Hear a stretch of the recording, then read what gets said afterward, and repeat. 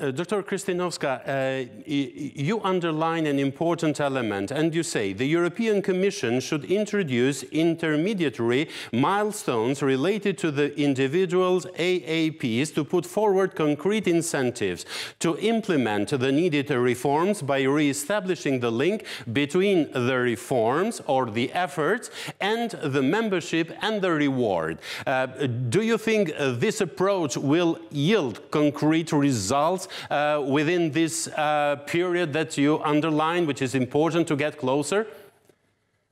Uh, yes, if you consider the time necessary for uh, countries that joined the EU in previous enlargement rounds uh, to uh, start and finish their negotiations, that was between five to seven years. So the process for Croatia, Romania, Bulgaria, or the countries from Central uh, Europe uh, lasted in total not more than a decade.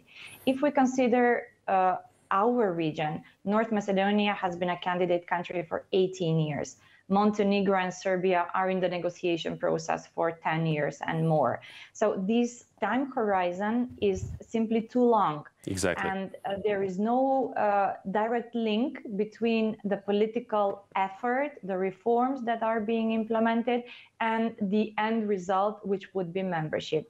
We should not have illusions that the process will be very quick. So we are certainly going, uh, going to have several, if not years, if not a decade for the other countries. So given how long this time is, it is important to somehow provide these countries with some incentive, with some reform that will um, help them to implement the reforms. So that is why we are proposing that once uh, a set of reforms or the alignment in some area is finalized, that the countries should be rewarded in a way, whether that would be uh, with access to the European single market, whether that would mean more pre-accession funds or access to some of the other uh, EU uh, funding uh, programs, whether that would mean participate as observers in different meetings in the Council, in the Commission.